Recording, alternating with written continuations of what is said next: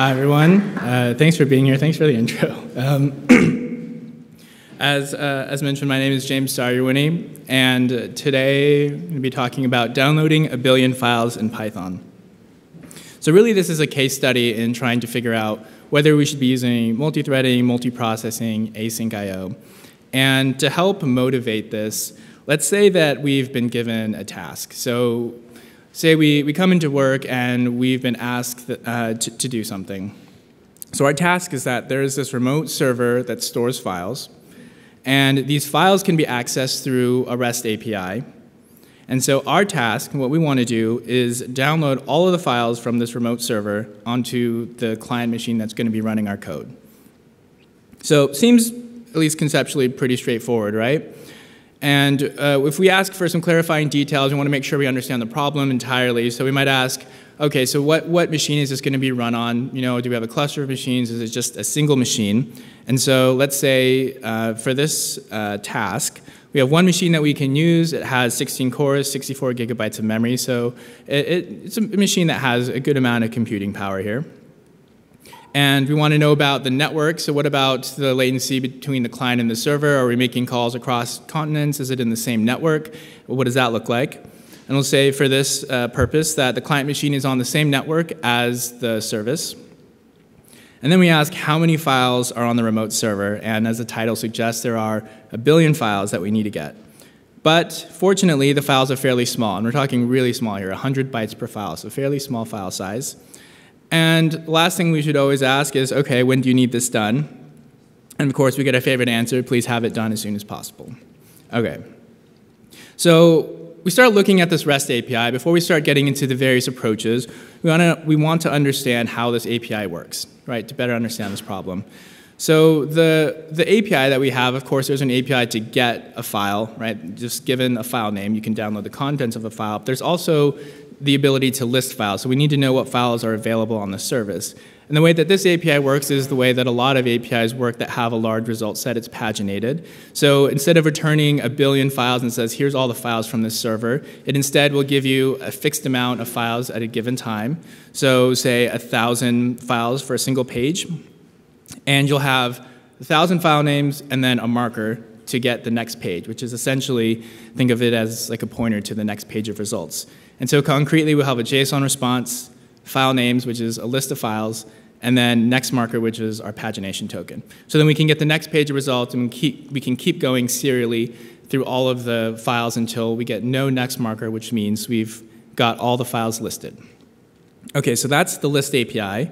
Uh, if we look at um, the other one, as shown down below on that third column, or the third row there, there's a get slash file name that gives us the file contents. So this is the API we're working with. It's a little bit weird that there's like list and get in, in the URL, but you know that's what we have. And so I think now we have enough to understand the problem and start experimenting with a few different approaches here. Now, before we get into that, there's a couple of caveats just to make sure that uh, no one, um, that no one like takes this uh, or mis misreads like what I'm trying to show in this talk. Is that this is a simplified case study here.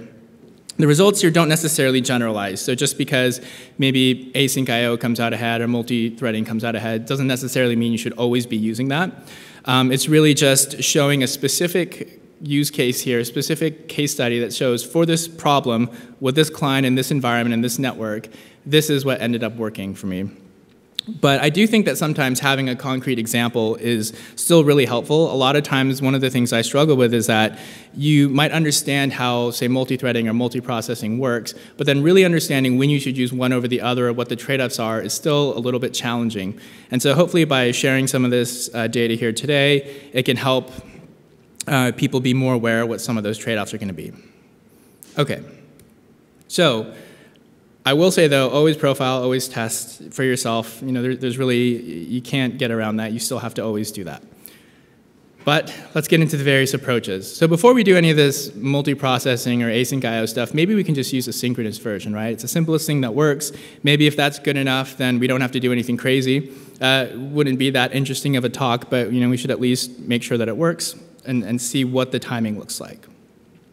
And to be clear here by synchronous, what I mean is maybe we can just take a list and then we can just go through each of these files here and then download them one at a time. So say for each file on a page, download the file, download the file, and then once you're finished with that, get the next page, and then go you know, for all of those files. So the code for that is fairly straightforward. We're just using requests, and then we just have a for loop to go over all of these pages. And so the way that this code works is we have some constants at the top that match the, um, the API we saw on the previous slide. And then we have uh, the first uh, request that we make, which is a list request. So we get that first initial set of files. And then we just have a for loop here. So for each file in the file name, we're going to make uh, a call to download file, and we'll look at that definition in a second. And then after that, we check is there any more pages? So if there's this next marker, then we say, all right, request.get this next URL, providing this next marker here uh, in the query string. And we just loop over that um, until we run out of, you know, until we download all our files. And so this download file here is also not that many lines of code here. We're just making a request.get call to this remote URL, checking to make sure that there's it's a 200 status code, and then we're going to open the local file name that we were passed in, and then write out the data to that file. So that's asynchronous results. If we look at how long it takes to do one request, it takes 0.003 seconds. So this is essentially the network latency uh, for making a single request amortized over the list call and the get call, and the overhead of you know, processing it in Python and going through the request library. So three milliseconds. Do you think that's good, bad? Well, if we take three milliseconds and we multiply it by 1 billion, ends up being 3 million seconds, which is 833 hours, or about 34.7 days. So I think if we were to say, okay, we have this version running, and we'll have this done in about a month. Check in in a month, and we'll have this done. That's probably not going to work, right? So we know that the synchronous version um, isn't, isn't good enough, and we need to find something that's going to be a little bit faster. Okay, so now we can get to multi-threading. This is the first thing we're going to look at. It's nice because it's been in Python for a long time. There's a lot of things that have been written about it. It's been fairly well studied, so there, it's, it's really easy to get started with uh, multi-threading code. And what we're going to use here is a producer-consumer queue. Um, it's, it's a fairly standard pattern when you're using multi-threaded code or even in multi-processing, which we'll look at next. But what we're going to do is we're going to take one page of results, and then instead of downloading that, what we're going to do is we're going to put that in a queue. And then from that queue, we're going to have worker threads. They're going to be pulling off that queue and downloading those files concurrently. And then so in the main thread, we have this list object, or this list files that's going to keep running, and it's just going to keep putting stuff on the queue, and you're just going to have these workers continually downloading these files. And then at the end, we're going to have those uh, workers put the results in a result queue. That's so we can track status, we can track progress, uh, look at errors, and that kind of thing. And one of the observations here is that we're trying to parallelize where we can. So if you notice with the list call, that's inherently serial, right? There's no way to run multiple list calls in parallel because in order to make the next list call, we have to have the next marker that was from that previous response. So we have to go in order.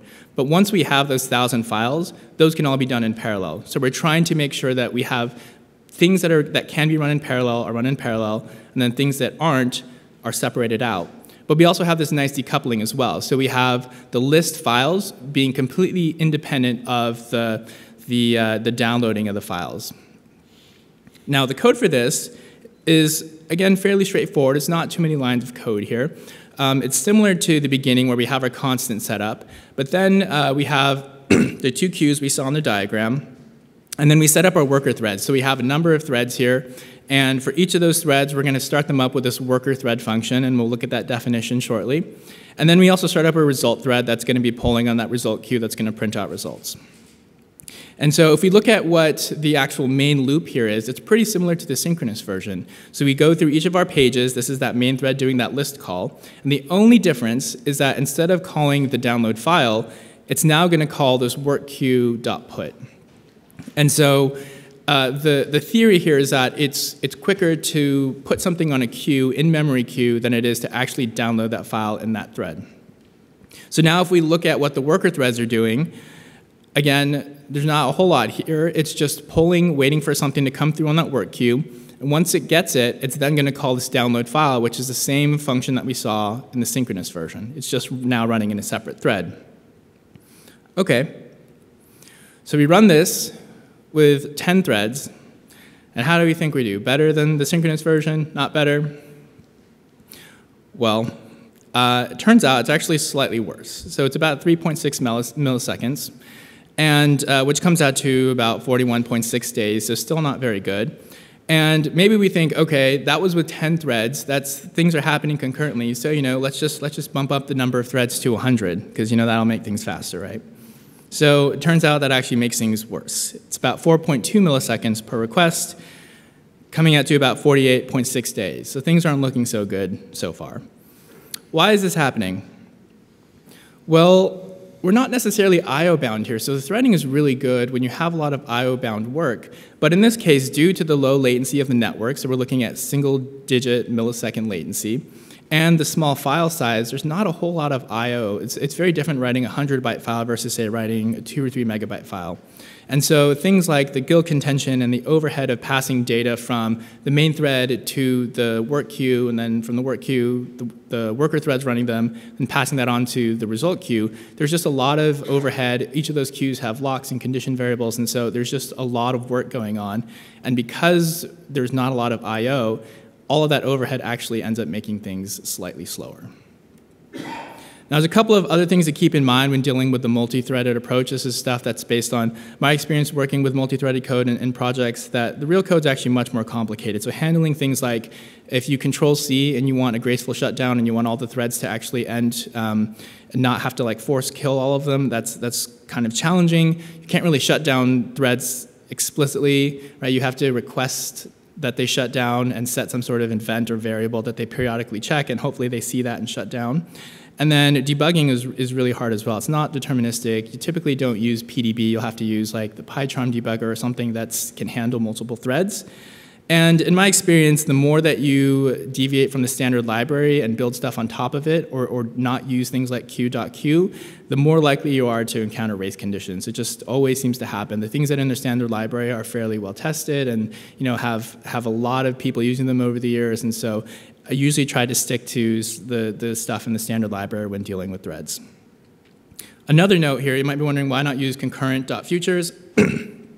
well, in this case, there is an executor.map, which will just give you, you give it an iterable and it gives you the results back and it runs them um, concurrently as well. In this case, it's creating a 1 billion element list. So if you try to create a 1 billion element list in Python, you will definitely crash and you will run out of memory. So we can't use that. But there is still a way that we can use concurrent.futures, and we'll look at that next when we, when we look at processes, because hopefully processes, are gonna, we're going to have better luck with that. So if you remember from the details here, we have 16 cores to use. And the thing with threads is that we were only using a single core. So the thing is maybe if we can use multiple cores, things might actually be a little bit better for us. So what we're going to do here with multiprocessing is instead of using threads, we're going to use processes, and we're going to try to use concurrent.futures. And we have to use it a little bit differently because we have such a large data set. so the way this is going to work is we're going to take one chunk at a time, so one page, and then we're going to have all of these worker processes download them as quickly as possible, so 1,000 files at a time. Once that's done, we're then going to move on to the next page, and then have that queued up, and then have those workers download 1,000 files at a time. And we're going to keep going until we've got all the billion files. So the code for this is slightly different. So we have our contents at the top, we have our host name, the list URL. Then we have this iterate all pages, so we're just starting to put some abstractions in place. We're starting to separate out the iteration from the actual logic and the orchestration of downloading files. And then we have this downloader class, and I'll talk about that in a minute. But then the main logic here is in this process pool executor. So in this futures package in concurrent.futures, there's a process pool executor. It manages all of this for you. And by default, it'll create one, uh, one worker for the number of cores. So in our case, we're going to have 16 workers. And all we do here is it's a two-step process. So we're iterating through all of these pages. And then we queue all of them up. So we start the parallel downloads. This is that first part in the previous slide where we queue them all up using this executor.submit, and we get futures back. And then afterwards, we're going to wait for them to complete. And so there's, there's this futures.as completed. We're going to get futures back as they finish. It can be in, in any order. And then we're going to look at the results. Now, the iterate all pages is sort of, uh, it's kind of similar to before. The main difference is here, instead of yielding one file at a time or iterating over files, here we're just iterating over pages. So we're hiding all of the iteration stuff from the main worker process, so it doesn't have to worry about that. And otherwise, it's the same thing. We make the list request, and we keep looping while there's next markers and just keep giving more and more pages. So that's how the iter all pages works. And then the downloader is similar to what we saw in the synchronous version. So we're just using the request session.get, and then we're opening the file and writing it out. So one of the things you have to be careful with with multiprocessing is because it's passing data across multiple processes, you have to be able to pass whatever your, your task is, whether it's a string or an object, it has to be able to be serialized, sent to another process, and then deserialized. And so it will use pickle for that, and so you have to also make sure some of your objects can, can um, handle that. So in this case, we're using request.session, which can be sent across, um, which can be sent across uh, process boundaries. Okay, so this is the multiprocessing thing. We're using 16 processes. What do we think? Better than threading? Not better? Yeah, definitely better. So in this case, it's 0.00032 seconds, so that's an order of magnitude better. So before we were at 3 milliseconds, now we're at 0.3 milliseconds, which if we do the math, comes out to about 88 hours or about 3.7 days. So that's definitely better than a month, but it's still you know, not great. We are hoping maybe we could do this a little bit quicker. And some of the things to keep in mind with this multiprocessing is that speed improvements are because we're truly running in parallel now, because we're leveraging all of these 16 cores, we're actually making requests in parallel. But just like multi-threading, debugging is much harder. PDB typically doesn't work out of the box. And there is overhead. So what we were doing with the multiprocessing is sending each file name to each of the worker to a worker process to then download. So there's a lot of IPC overhead there to be able to say from the main process, I want this worker process to download this file, and I want this other worker process to download this other file. There's a lot of overhead involved in that. So maybe we can improve things. But we looked at, there's a trade-off between doing things entirely in parallel, which we saw with a multi-threaded approach, where we just have this completely decoupled list, ob, or list files from this get file, and then here where we're doing things in parallel but in chunks. And even though we're doing things not completely parallel, it still ended up being faster. We got to leverage a standard library, and, um, and it was less code for us, which is great. Okay, let's move on to async I.O. Hopefully things get better, right? So with async I.O., what we're going to do is something slightly different. It's, it's a little bit hard to visualize what's happening here because it's mostly like the way that it's run in the event loop that's different. But at least conceptually, what we're going to do is we're going to make our list call like we've been doing before. And what we're going to do is start a new async IO task for this. And so the, the lighter color here would indicate that the task is running but not done. So we're going to spawn all of these tasks, move on to the next page, and start queuing up more of these tasks and they're actually running now. And so maybe as we're as we're starting to create more of these tasks, maybe one finishes, and so then we'll keep creating more tasks, and some will finish, and we'll just keep going on. And these can be in, in somewhat arbitrary order. These tasks will finish. So that's what we're doing with async I/O. Um, some of the benefits here there are mostly in how this is run. So because we're creating a new task for each one of these requests, that's something that we really couldn't do with, with multi-threading, right? We don't necessarily want to create a new thread for every file that we want to download. But here the task object is much more lightweight. And some of the benefits here with using async I.O. is that it's all in a single process, all in a single core, uh, you switch tasks when you're, you're waiting for I/O, or really anytime something something yields or something's waiting for something. So in theory, this should keep the CPU busy, right? We should have much more efficient use of a core. Now the code for this is a little more involved compared to some of the other approaches. We're using some different libraries now. We're using async I/O from the standard library, and then two other libraries we're using here are AIO, HTTP, which is our substitute instead of using request. And we're also using UV Loop. Uh, in my experience, UV Loop is just a way to, like, it's basically free speedups. I haven't had any problems with it, and it just always makes the event loop run faster, so I, I always just use it.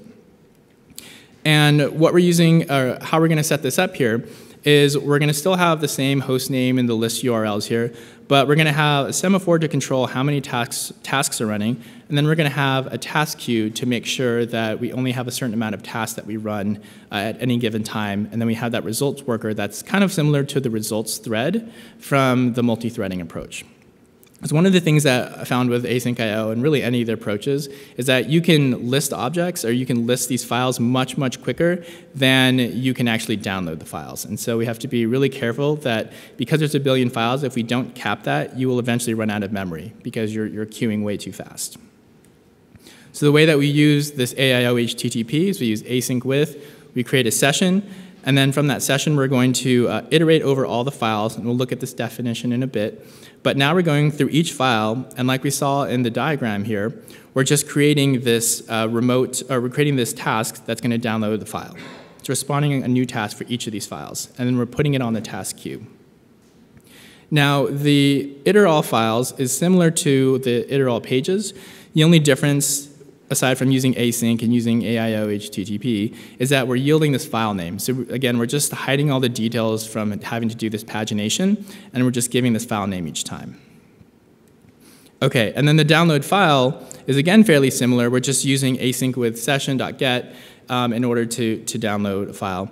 Um, we're using the semaphore here to control how many download tasks are going at a given time. So you can actually do this also with AIO HTTP. You can set how many, like a, a limit for how many connections you want to a host. In this case, using async with the semaphore lets us control that in our own code, and it's just a little more explicit, so it's easier to follow like how many actual download file tasks are going at a given time.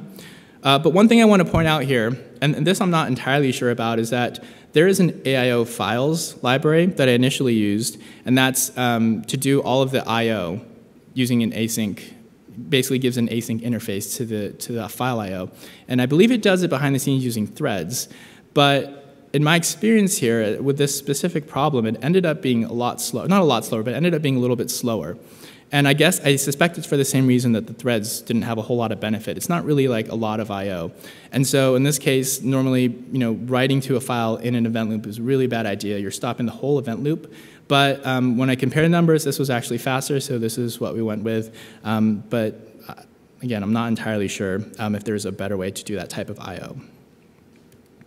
Okay, so the async I/O results. Faster than multiprocessing, not faster.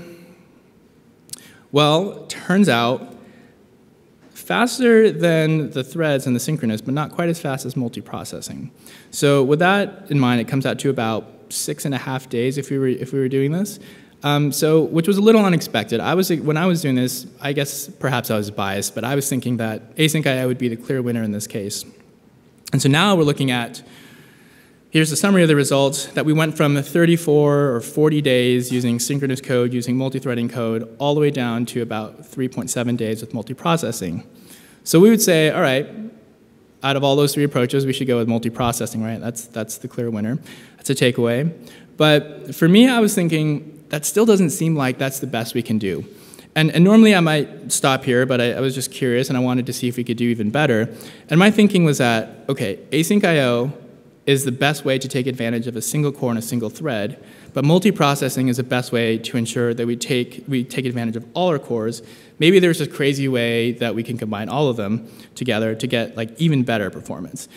And it turns out you also have to use threading as well, which I'll explain in a bit, but like we're, so, so we're throwing everything at this. We're gonna see how fast we can get this. Um, so I won't be able to show the code for this due to the fact that it's really complicated and, and we're running a little bit short on time, but I'll, I'll work through uh, how this actually works. So the way that this works is that we have worker process, right? Within the worker process, there are two threads, and one of the threads, is running an event loop. It's crazy, but stay with me. Okay, so what we're going to do is we're going to have 16 of these processes going, 16 event loops, right? And the way that this is going to work is that we're going to try to have each core being maximized as best as it possibly can. And we need to have a thread in each process because we need something to interface with multiprocessing uh, queues, which, are, which is using like Pickle and it's using sockets or writing to pipes and it isn't async aware. And then we need something to bridge that into the async land and back and forth. So here's sort of how the workflow goes. Um, this was just something that I was playing around with and, and I'll, I'll try to walk through this. It's a little bit involved. So what we're going to do is we're going to take a pagination token. So this is just some opaque thing like foo or, or whatever. Take that from the main process. We're going to send that over to the worker process through a multi-processing queue, right? That is then going to send it into the event loop for the um, async IO.queue. And so this main thread is then going to do the pagination. So it's similar to what we saw in the async approach, right? So it's going to get a it's going to get a thousand files and it's going to get a next marker. Let's say that it's bar. That's a next page of results. Now, before it starts downloading, what it's going to do is take that bar token, immediately send it back to the thread, and then that thread is eventually then going to make its, or that value is then eventually going to make its way back up to the main process. Skipping a few steps here, it actually goes to the output queue, which then gets fed back into the input queue. That then goes to another process, right, that then does the pagination. And so while that's going, you have this worker process that then is going to download um, its thousand files, while another process is doing its own list files call and then going to eventually download all its files in the event loop.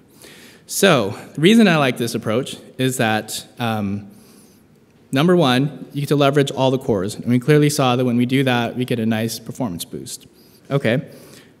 Uh, number two, we download all the files efficiently, right? So we saw that async IO is the best way to take advantage of a single uh, uh, core and a single thread. So that's great. And then the third thing is that we've minimized the, the inter-process communication overhead, right? And that's because instead, before where we were sending a file for every time we wanted a process to download, now we're just sending a pagination token, which is a thousand times less, right? So there's one, each page has a thousand files, so we're only, we've essentially cut the IPC overhead by a thousand. So this is a really nice way to get, sort of take advantage of all the things we, we've seen so far throughout this talk. Okay, combo results. Better? Worse? Well, it turns out it is actually awesome. It's, um, what is this, 0.03 milliseconds, so about 30 microseconds per request, which comes out to about 30,300 seconds or 8.42 hours, which is cool. So the real summary is that by combining all of these, we went from something that was about a month all the way down to something that was about eight hours or about a third of a day using async IO, multiprocessing, and all that stuff. So would I actually recommend that? I mean, probably not. It's, it's really involved to write. And so some of the lessons learned here is that it's you know, multiple orders of magnitude based on the different approach, but it is really a trade-off between simplicity and speed, and depending on maybe the multiprocessing is enough and four days is enough for you, or maybe you really need to get this done in a day. And so um, another lesson, uh, last one, is just you should have max bounds because one of the things I ran into all the time was getting memory errors because I wasn't properly bounding things correctly.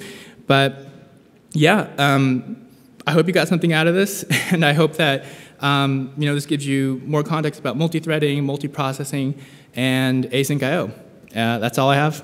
Thanks, everyone.